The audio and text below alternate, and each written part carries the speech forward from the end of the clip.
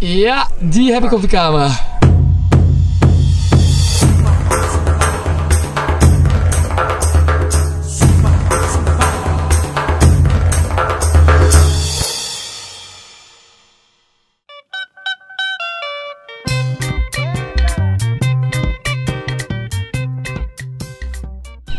En hoofdstuk 2 is begonnen. Wildlife Conservancies. Hoe ga je duurzaam op safari?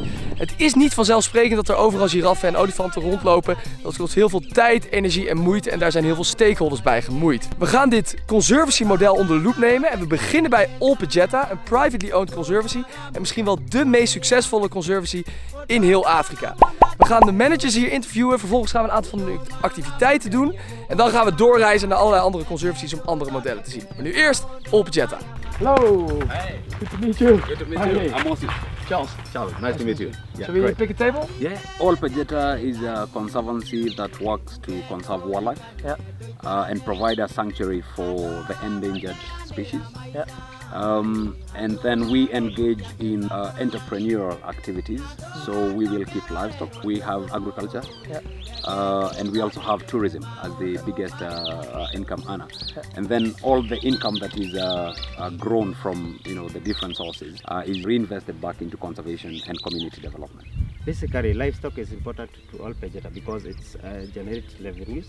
Yeah. Because we normally do animal uh, transactions. We normally slaughter Yeah. and we sell uh, carcasses. When is there a conflict between humans and wildlife? Um, we will have human-wildlife conflict when uh, uh, wildlife goes out and raids farmland. Yeah. Uh, they'll destroy crops uh, uh, that people are farming, uh, and that is a big area of conflict.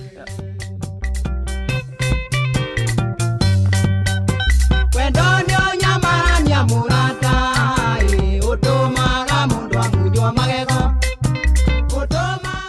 Lion tracking. Ik dacht dus eerst dat we zouden gaan wandelen, maar we gaan dus met een hele antenne en een signaal en collars gaan we op zoek naar één van de 65 leeuwen.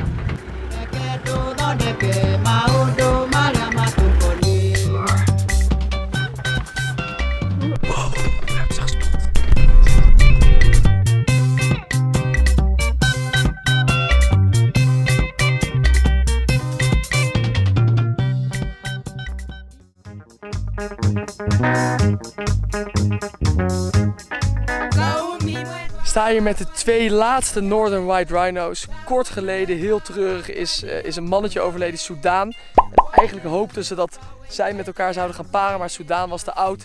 En nu heb je dus nog maar twee vrouwtjes over. De moeder daarachter, die heeft last van haar benen. Die kan geen eh, baby meer dragen.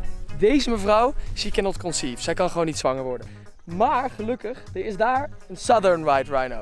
En ze gaan de eicellen eh, in- implanten met het sperma van Soudaan, die kort geleden overleden is. En dan hopelijk hoeft deze eh, Northern White Rhino niet uit te sterven. Deze mannen die beschermen dag en nacht met een hele militie, beschermen ze deze laatste Northern White Rhino's. Ik ga hem nu heel even aanraken. Wat een majestueuze beesten, deze gepantserde voertuigen hier. Laatste leuke feitje, dit zijn allemaal white rhino's, maar in het park heb je ook veel black rhino's. En wat is het verschil? White rhino's zijn grazers, ze zijn vaak op de open vlakte, hebben ook een plattere mond. Ze zijn ook minder shy. Black rhino's, die eh, plukken van de boompjes en die zijn vaak ook wat meer bedekt, zijn wat agressiever en, eh, en wat kleiner. We zijn hier bij Young Chimp Center. Deze naastverwante, dit is het dier dat het meest eh, identieke DNA heeft ten opzichte van de mens. Het is echt hilarisch. Het eten komt eraan. Ze gaan helemaal los. Kijk die gast daar.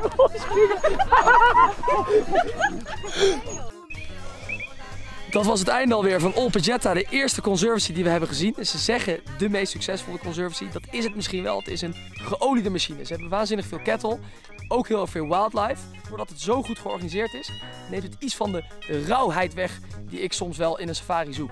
Wel een aanrader. Het ligt ook echt op de route naar heel veel. Waarschijnlijk vinden we hartstikke veel vette dingen waarmee je de georganiseerdheid hier weer een beetje kan compenseren. Oké, tot de volgende. familia mwetu za umine wakana nyumbu.